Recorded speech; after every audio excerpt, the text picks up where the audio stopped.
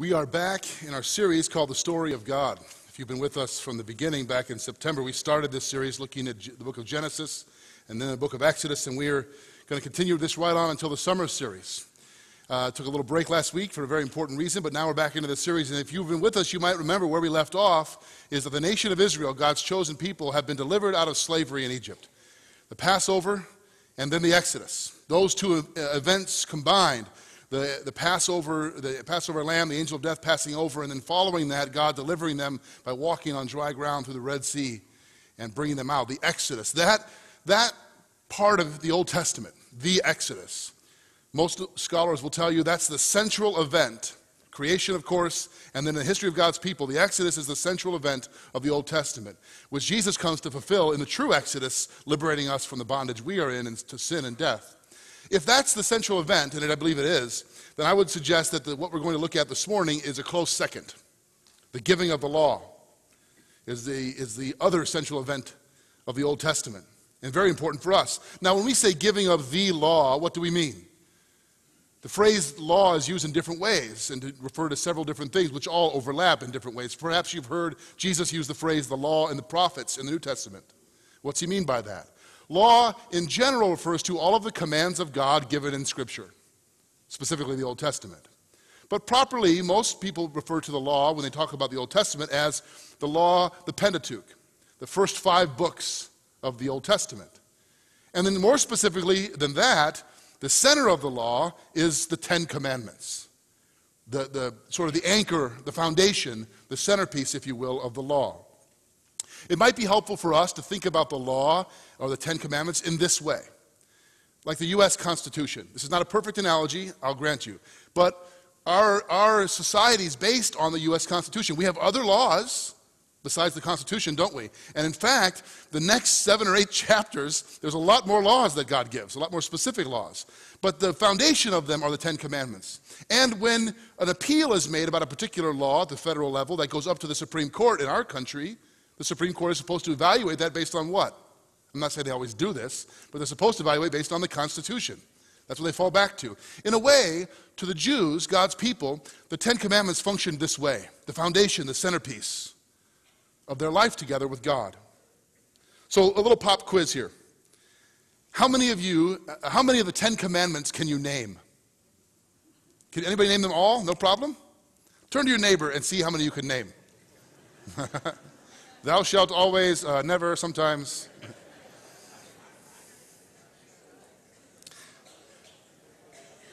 Recent surveys tell us that of Christians in America, those who self identify as church going Christians, 70% or more can name, can, can't even name five of the Ten Commandments. Who can name the first one? Thou shalt, yes, right, have no other gods before me. Keep God God, in other words. Let's get that one right, and it's first for a reason. How about a different question in our pop quiz? How many of the Ten Commandments have you broken this week? Why would we laugh at that?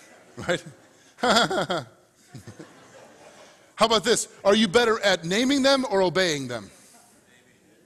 Most of us would say naming. And we can't even name all of them, some of us. The, the, the center of God's law is a very serious and important thing. And it's what we want to talk about here. Let's, uh, Ted Turner, the great theologian, said that uh, the Ten Commandments are obsolete today. We're basing our society, shouldn't be in the, in the courtrooms, take it down. It's obsolete because nobody likes to be commanded to do anything. Commandments are out. Well, I think he's wrong that they're obsolete, but he's quite right that nobody likes to be commanded. Let's look at these, shall we? In Exodus chapter 20, verses 1 through 21. God giving his law to his people through Moses. And God spoke all these words, saying, I am the Lord your God who brought you out of the land of Egypt, out of the house of slavery. You shall have no other gods before me. You shall not make for yourself a carved image, or any likeness of anything that is in heaven above, or that is in the earth beneath, or that is in the water under the earth. You shall not bow down to them or serve them, for I, the Lord your God, am a jealous God, visiting the iniquity of the fathers on the children to the third and the fourth generation of those who hate me, but showing steadfast love to thousands of those who love me and keep my commandments. You shall not take the name of the Lord your God in vain, for the Lord will, will not hold him guiltless who takes his name in vain. Remember the Sabbath day to keep it holy. Six days you shall labor and do all your work, but the Sabbath, the seventh day is a Sabbath to the Lord your God. On it you shall not do any work, you or your son or your daughter, your male servant or your female servant, or your livestock, or the sojourner who is within your gates. For in six days the Lord made heaven and earth and sea and all that is in them, and he rested on the seventh day. Therefore the Lord blessed the Sabbath day and made it holy. Honor your father and your mother, that your days may be long in the land the Lord your God is giving you. You shall not murder. You shall not commit adultery. You shall not steal. You shall not bear false witness against your neighbor. You shall not covet your neighbor's house. You shall not covet your neighbor's wife, or his male servant, or his female servant, or his ox, or his donkey, or anything else that is your neighbor's. Now, when all the people saw the thunder and the flashes of lightning, and the sound of the trumpet, and the mountain smoking, the people were afraid and trembled. And they stood far off and said to Moses, You speak to us, and we will listen, but do not let God speak to us, lest we die. Moses said to the people, Do not fear, for God has come to test you, that the fear of him may be before you, that you may not sin. The people stood far off while Moses drew near to the thick darkness where God was. This is a mysterious passage, a powerful passage. Most of people hear this passage read and they think, another set of religious, religious rules things we have to live up to, another set of standards or rules to keep, laws to obey in order to be in right standing with God. And I can understand that. But when we read it in its context, it's part of a story. It's not bullet points, it's the story of God giving his law to his people. And for the Israelites and for the Jews today, the law was not initially this set of laws that, that are impossible to keep or measure up to. It was a symbol of God's presence with his people. It was a way of God showing favor to his people. It made them, in a sense, unique. Psalm 147, verses 19 and 20. He declares his word to Jacob, his statutes and rules to Israel. He has not dealt thus with any other nation. They do not know his rules. Praise the Lord. Israelites saw themselves as utterly unique, favored by God, that he would give to them his law, he would reveal to them his Word. It's how to be in right relationship with God. The pagan nations that surrounded Israel, first, of course, Egypt, the pagan empire that they were enslaved by, and then as they wandered in the wilderness in the desert for 40 years, and then even as they come into the promised land, they're surrounded by nations who worship false gods. And those nations, how many of you read Greek mythology when you were younger, maybe even still? The Greek gods, right? Pagan gods, this is much later than this time, but the Greek gods are rather capricious and unpredictable, aren't they? You never quite knew where you stood, and they might zap you at any moment. That's the pagan notion of gods. You must placate them and do the right things to honor them and hope that they would favor you, but you never exactly know where you stand with those gods. The God of Israel, our God, says, I'm different. I reveal myself to you by name, Yahweh, and I reveal myself to you by the giving of my law, which means you can know exactly how to relate to me. No guesswork. I want to show you exactly how to be right with me, how to be in right relationship with me. This was utterly unique in the ancient world. Let's look then at the reason for the law. The reason that God gave his law to his people in this way. God's law is God's self revelation to his people. It's a pretty dramatic story if you think about it. Moses on the mountain, smoke and thunder and lightning, and God himself inscribing his law on stones, a tablet uh, of stone. Why did he do it this way? Well, if you look at Deuteronomy chapter 5, verses 22 through 24, these words the Lord spoke to all your assembly at the mountain out of the midst of the fire, the cloud, and the thick darkness with a loud voice. And he added no more. And he wrote them on two tablets of stone and gave them to me. And as soon as you heard the voice out of the midst of darkness, while the mountain was burning with fire, you came near to me, all the heads of your tribes and your elders. And you said, Behold, the Lord our God has shown us his glory and greatness. And we have heard his voice out of the midst of the fire. This day we have seen God speak with man, and man still live. The primary reason that God gave his law to his people, and he gives it still, is to reveal his glory to show us his glory.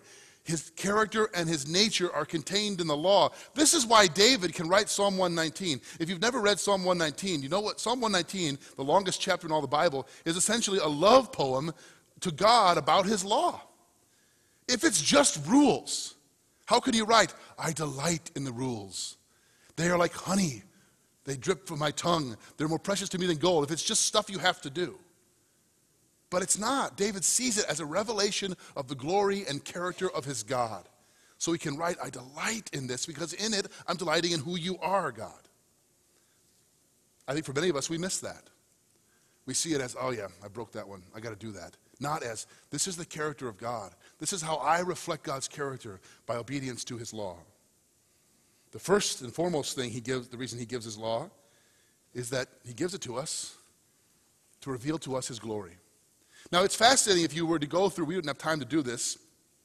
If you were to go through chapter 20, the first 21 verses, and read the commands, the, the, the laws of God, the Ten Commandments, in contrast with, say, the, the nation of Egypt, where Israel has just come out of captivity. Pharaoh in Scripture becomes a symbol of the corruption and evil and injustice of the world. And his law and his kingdom stand in stark contrast with God's law and God's kingdom. For example, the first commandment is, You shall have no other gods before me. Keep God first. He's God, there is no other. Pharaoh says, I am God. I decide. You all bow to me. And there are other lesser gods, but I'm the supreme God. And this is the inclination of the human heart apart from God. You might not say it this way, but to set ourselves up as the captain of our soul and the master of our own fate, as judge and jury over what's right for us, and often, if we're honest, what's right for other people as well. I'm God, and others should bow to me. If you go down the list, then, you see these two commands that kind of go together Make no graven image, carved image, and don't take my name in vain. Now, when I was a kid, I thought taking the Lord's name in vain was simply don't use bad language, right? That's what I was sort of taught to believe. Don't use the name of the Lord as as a bad word. And it's certainly true. We shouldn't do that. But it's deeper than this. Those two put together. In the ancient world, to make a carved image was to set it up and to force people to bow to it. We read this about the story of Daniel and over and over again. Bow down to this image. And in the New Testament, images of Caesar, inscriptions of him, bow down to him. There's a human tendency to set up God and use him for our purposes. I'll use his name, I'll leverage God's name for my gain. I'll make an image that other people will bow to, and I will use it to subjugate them or elevate myself. This is certainly true in Pharaoh's kingdom and in the kingdom of the world. But God says, no, in my kingdom, we don't use, you don't use me for your gain. You surrender yourself to me. And you go right on down the list. Honor your father and mother. Remember the Sabbath day. And you notice the Sabbath day, when God says this, he goes on into great detail through, to Moses and says, Not just you, but your children, your servants, even the strangers in your land should all observe this. Why? Well, it'd be no problem for the, for the wealthy and the powerful in society to say, I'll take a break, but the rest of you keep working to earn money for me. The rest of you will not take a break, will not rest. God says, uh, no, all of my people, regardless of their social status, their wealth, their economic status, all of them will rest and remember me. In other words, you go down the list and you see a, a stark contrast between the kingdom of the world and its laws and rules and the kingdom of God and his law. Another reason God gave his law is found to us in Romans chapter 7 verse 7. What shall we then say? That the law is sin? By no means. Yet if it had not been for the law, I would not have known sin, for I would not have known what it is to covet if the law had not said, You shall not covet. In other words, the second reason for the law is that it reveals our sinfulness. So, first, the law reveals God's character. Second, the law reveals my character as well. And it's not like God's. My sinfulness. And you might think it's strange. Do we really need the, the law to tell us not to do these things? Shouldn't we just know? Actually, no. These Israelites are coming out of uh, captivity, enslavement, surrounded by pagan nations. God is treating them, in a sense, as spiritual toddlers. Here's the rule. Here's what I want you to don't, you know. My mom used to say to me, Jeffrey, God is happy when we share, you know. And I would say, but I'm not. You know? I mean, spell it out for you in the plainest of terms. And when Paul says, I would not have known what it is to covet if the law had not said, You shall not covet, what he means is, I was already coveting. I was already a lawbreaker, but I was ignorant of this. And the law comes to reveal my spiritual condition, to show me my need. Let me give you a crude example. A couple of years ago, I bought a vehicle from my father. My, my parents spend most of the year now in Arizona, and they didn't need one of the cars, and I needed a third car for my children. That's perfect. I bought it from my dad. Paid him, he signed the title, and I just put the title in an envelope and put it in the glove box and forgot, because I'm forgetful and lazy, to go and have the title transferred.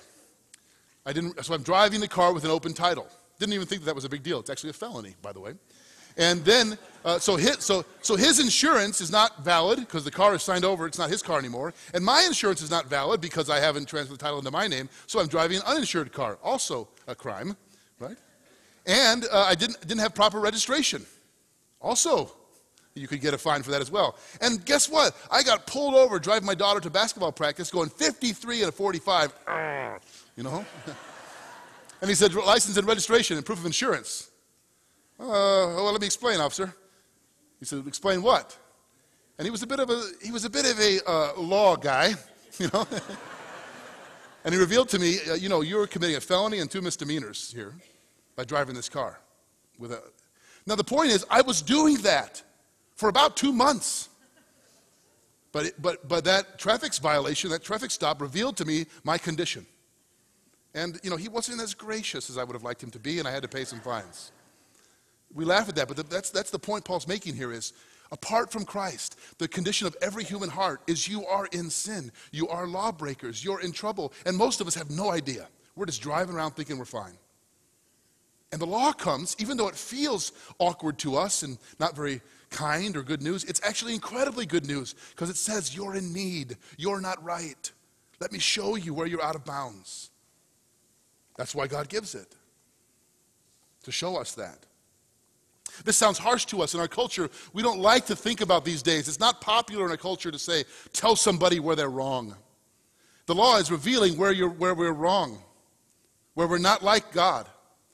And, but in our culture, it's, it's very intolerant and ungracious to say you're wrong here. Now, I am not suggesting that all of you go out from here and start telling everyone you know why they're wrong. But if you're in relationship with somebody, if you love someone, and you see that they're in danger, it's incredibly ungracious to be silent. Which of you, if you saw your spouse or child or grandchild walking out onto a frozen pond that you knew was thin and dangerous because they didn't see the sign, would just say, Well, this is interesting. Let's see what happens.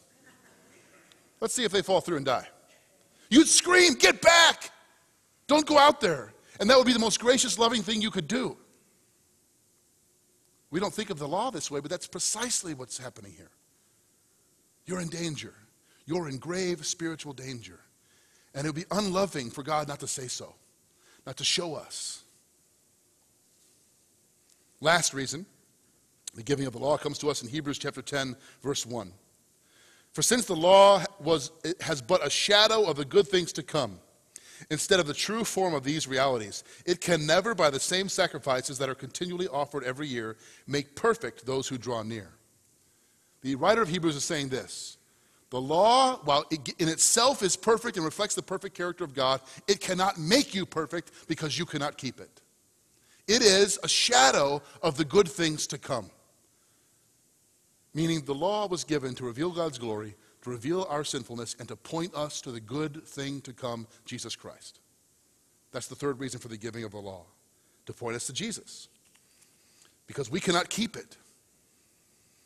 Notice in verses 18 through 21 of Exodus 20, we already read these the smoke and the fire and the lightning and the sound of a trumpet. And then the people say to Moses, Listen, you talk to God and then tell us what he said. We don't want to talk to him. And Moses says, Don't be afraid. This is happening that God wants to test you, which is a strange phrase. And then he says this so that the fear of God might be in you, so you may not sin. Now, in the Bible, we talk often about the fact in 1 John 4 that perfect love casts out fear. There's no fear in love. And the most commonly given command in all of Scripture is do not fear. So, how do we reconcile that with these phrases that tell us we should have the fear of the Lord? Parents, you know this, right? You understand this. There's a kind of fear that's unhealthy, is going to lead to therapy someday, that's paralyzing, that's about judgment and condemnation that is not good, and God wants to remove from our hearts. There's another kind of fear, which is reverence and respect and awe, which is a good thing. And we need. When I was a 10 year old boy, I went to spend a summer with my Uncle Jerry in Montana. Uh, work on his ranch, and my th- parents thought it'd be good for me. Actually, probably thought it'd be good for them too. But anyway, I spent the summer with Uncle Jerry, and if I did all my chores throughout the week, we'd go horseback riding on the weekend, or we'd go we'd go uh, hunting or fishing together, or we'd go out and do something fun. And uh, I remember the first time I rode horses with him. We were going to do an overnight backpacking trip on horseback. And he said to me, "Now these are not uh, these are not the kind of horses you've ridden, Jeff, where they're they're sort of uh, domesticated and people ride them all day long. These are a little bit wild, and so never ever walk behind your horse unless you first go to its nose, touch him, and then run your hand along his side so he knows you're there. The horses would get skittish and you could get hurt if you just walk up behind him. I said, okay, kind of giving me the rules, if you will. I didn't really listen to those rules very well. And when I was walking with the saddle in my hand to, to, to saddle the horse, I walked right up behind the horse. That horse felt something behind me and boom, and launched me right out of the barn at 10 years old. Broke a rib, knocked me flat on my back. I didn't do that again. I never walked behind that horse again without, I'm, here, I'm here. what, the, the point is, there's a, there's a healthy respect and reverence and fear that's good for us, spiritually speaking. Not fear of condemnation or judgment or punishment from an unpredictable God, but reverence and awe for who God is, His holiness and His greatness. Let's look now at the ransom from the law. We've already established that the law reveals our sinfulness and our inability to keep it. What then is the solution? The ransom from the law. The law reveals our problem, but it does not, in and of itself, provide the solution. Just one passage here I want to read from the book of Galatians, which is so remarkable, and try to unpack this as it relates to what the apostle Paul is saying here.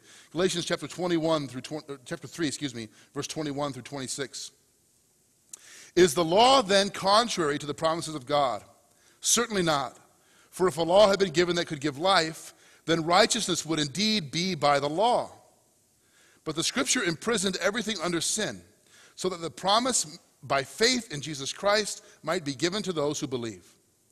Now, before faith came, we were held captive under the law, imprisoned until the coming faith would be revealed. So then, the law was our guardian until Christ came, in order that we might be justified by faith. But now that faith has come, we are no longer under a guardian. For in Christ Jesus, you are all sons of God through faith. This is an amazing passage. Paul says we were imprisoned in sin under the law.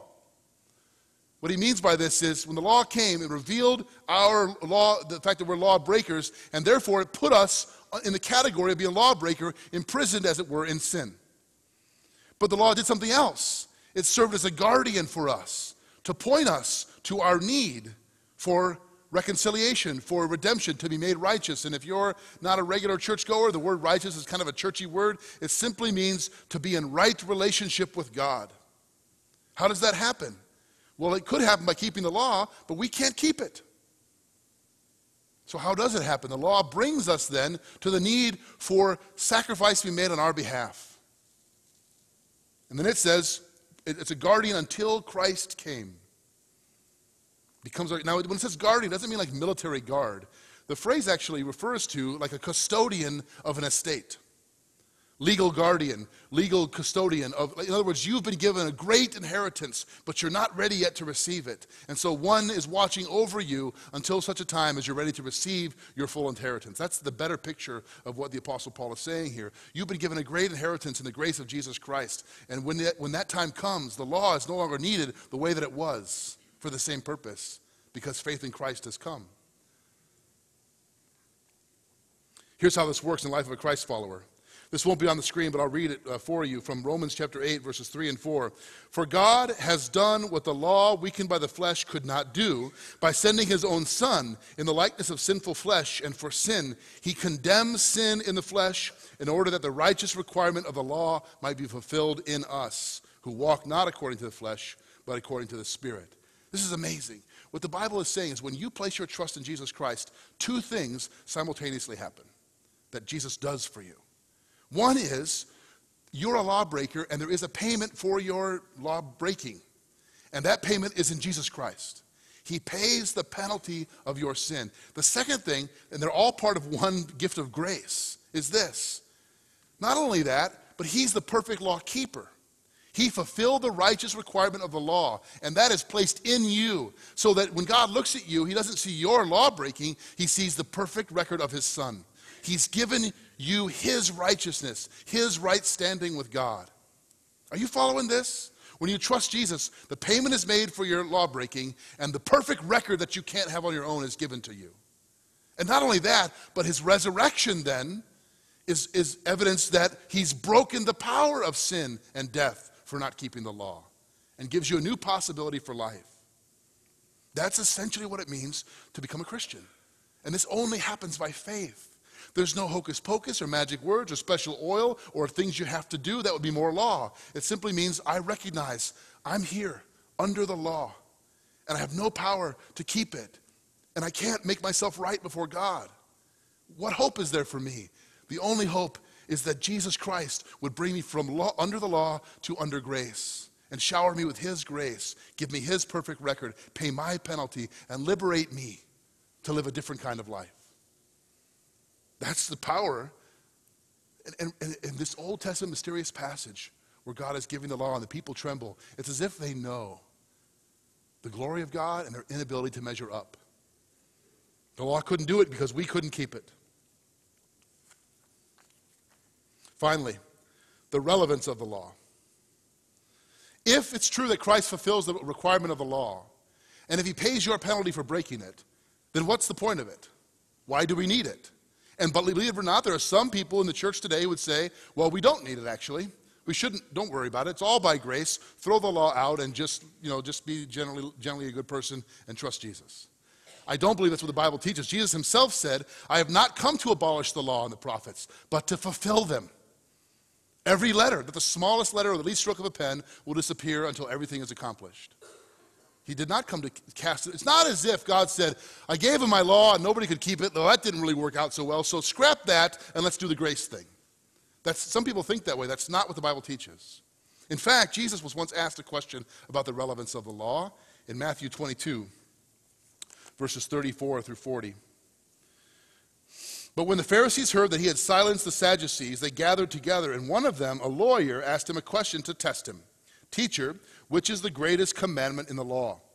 And he said to him, You shall love the Lord your God with all your heart, with all your soul, with all your mind. This is the great and first commandment. And the second is like it You shall love your neighbor as yourself. On these two commandments depend all of the law and the prophets.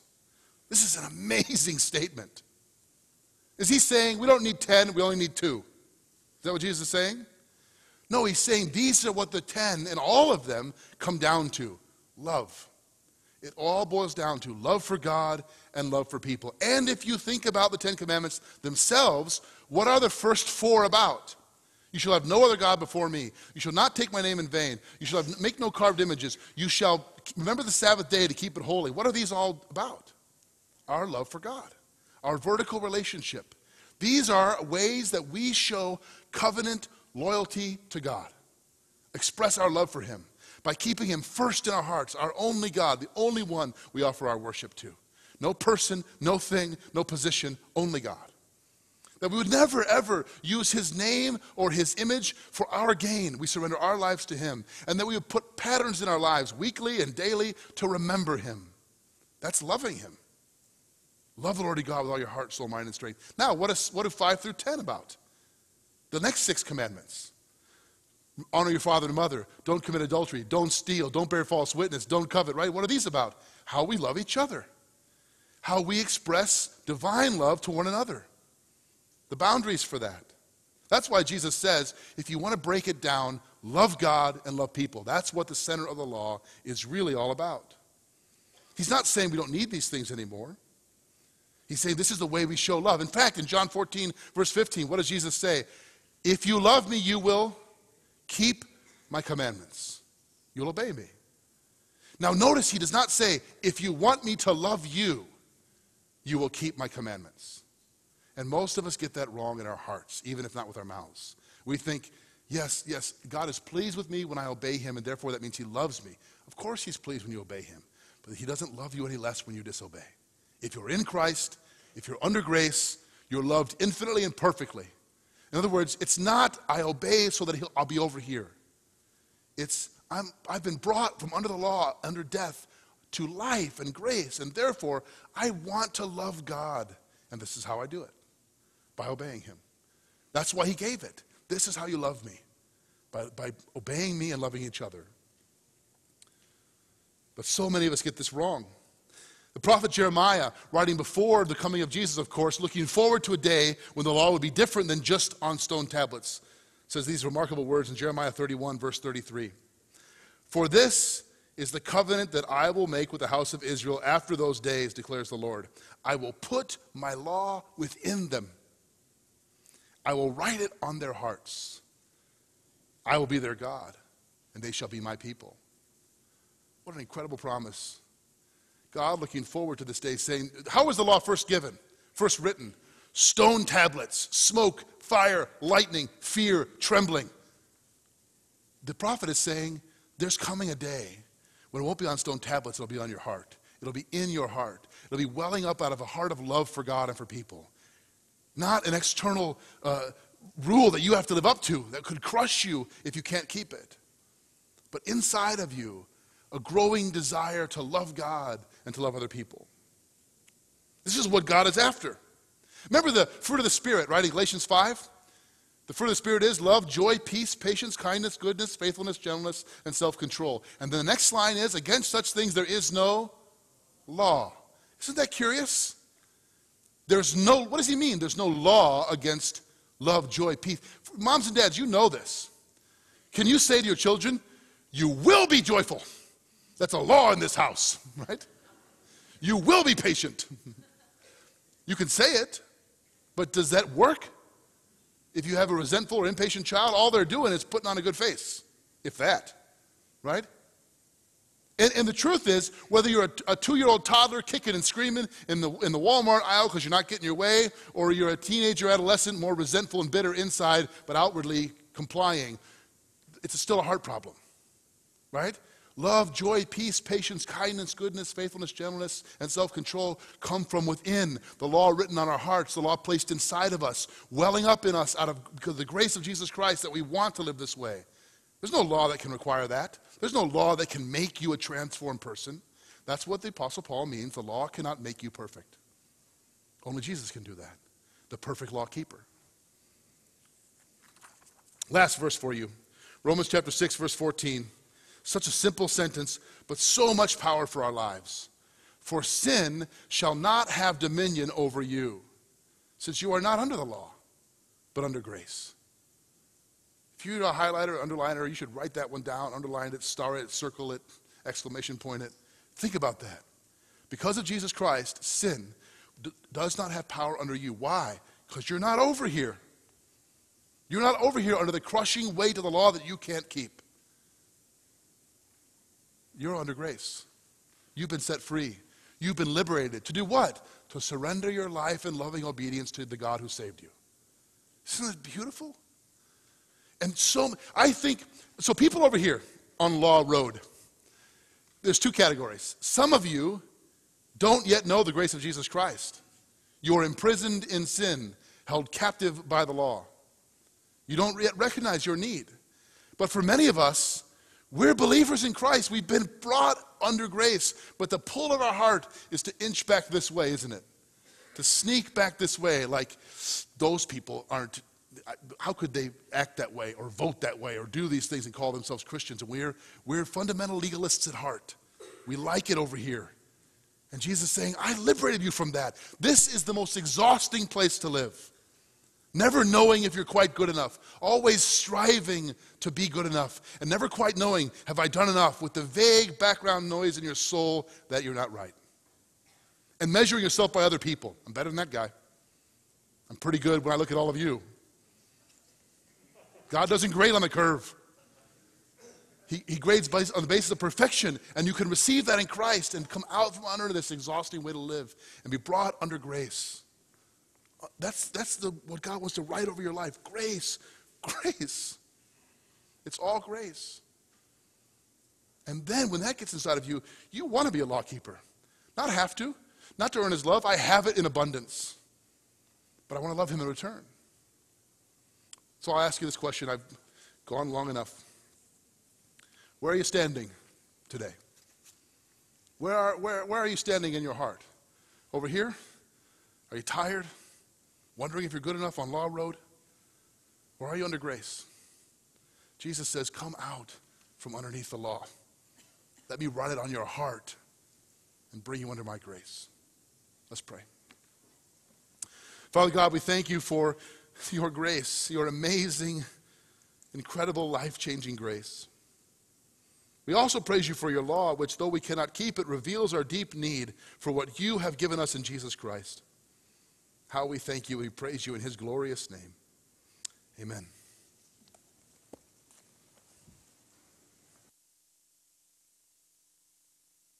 I just love listening to Ryan lead us in that song.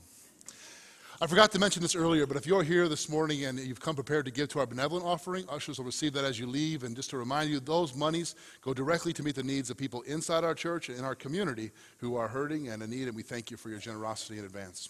And of course, if you would like someone to pray with you, feel free to come forward at the close of the service. Members of the prayer team will be down front.